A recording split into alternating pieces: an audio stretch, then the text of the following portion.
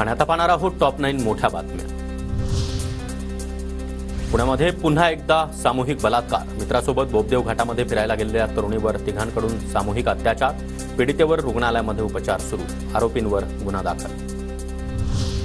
पुण्यामध्ये हे काय सुरू आहे? महाराष्ट्र महिलांवरील अत्याचारांचं केंद्र बनत आहे त्यावर पायबंद घालण्यासाठी गृह खातं काही करत नाही. पुण्यातील अत्याचाराच्या घटनेनंतर विरोधकांची सरकारवर जोरदार टीका. होते नव्हते ते सर्व पैसे लाडकी बहीण योजनेला देण्यास सांगितलं. लाडकी बहीण योजनेच्या निधीबाबत अधिकारी खासगीमध्ये सांगतात. शरद पवार यांचा सरकारला टोला. पालकमंत्री अब्दुल सत्तार यांना खंडपीठाचा धक्का. संभाजीनगर बाजार समितीच्या अठ्ठ्याऐंशी कोटी भ्रष्टाचाराचा अहवाल रद्द करण्याला स्थगिती.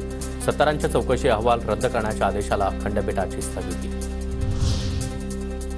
तेली समाजाच्या शिष्टमंडळानं घेतली देवेंद्र फडणवीस यांची भेट. विविध मागण्यांसाठी माजी खासदार रामदास तडस यांच्या नेतृत्वामध्ये भेट घेण्यात आली. पंतप्रधान नरेंद्र मोदी उद्या वाशिमच्या पोहरादेवी दौऱ्यावर. मोदींच्या हस्ते विरासते बंजारा नंगारा वास्तू या संग्रहालयाचं लोकार्पण. पोहरादेवीमध्ये पाच हजार दोनशे चाळीस पोलीस अधिकारी आणि कर्मचारी तैनात. पंतप्रधान मोदी उद्या ठाण्याच्या दौऱ्यावर. मोदींच्या हस्ते उद्या विकास कामांचं भूमिपूजन आणि प्रकल्पांचं उद्घाटन. कासार वडवलीतील सभास्थळी जय्यत तयारी.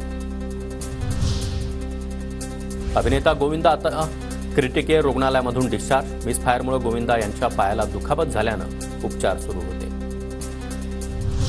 छत्तीसगडमधील चकमकीमध्ये आतापर्यंत तीस नक्षलवादी ठार. नारायणपूर दंतेवाडा सीमेवरील माड भागामध्ये चकमक. मोठ्या प्रमाणामध्ये स्वयंचलित शस्त्र जप्त शोधमोहीम सुरू.